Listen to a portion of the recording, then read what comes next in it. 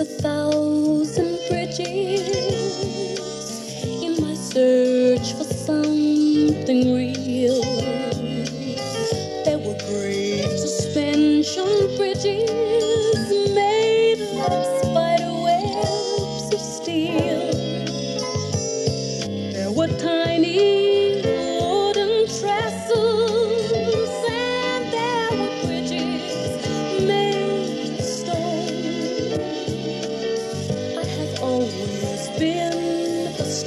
stranger, and I've always been.